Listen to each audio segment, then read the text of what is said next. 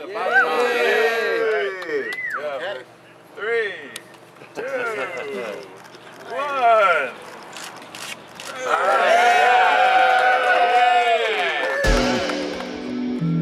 Legal marijuana is here in California. We have first sales kicked off at 6 a.m. Had a great ribbon cutting with the mayor, line around the block. Big, excited crowd. It was, it's amazing.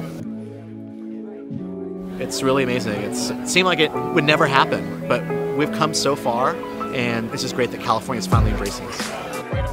I've been waiting for 40 years. That's right, man. I'm serious. 40 years I've been waiting for this moment. All right. Thank you.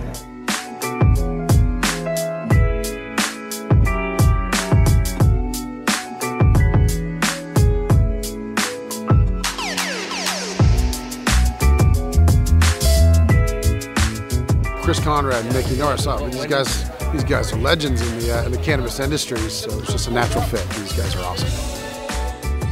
Mikki Norris and Chris Conrad have been activists for decades fighting for this cause and this issue in California and in the Bay Area. So it's going to be a, a really momentous occasion. One small joint for us, a giant leap for California. So then when we got up to the front there, we got the hand in our identification card.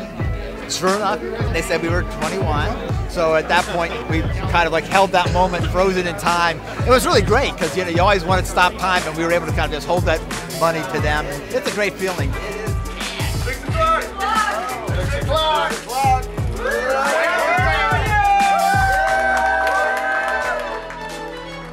Big photos of the very first purchase, and it was a beautiful thing to see.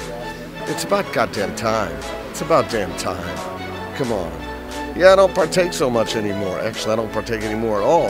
But that doesn't mean that I think that people who do shouldn't, or it should be illegal, they should be criminalized for it. That's foolish. That's foolish, beyond reason. Okay, so what we bought were three Jack Herer pre-rolls in honor of Jack Herer. Yeah, so we're honoring Jack and all the other people who struggled for all these years and didn't survive to see today happen. All the people who spent time in prison, you know, these joints are for you guys.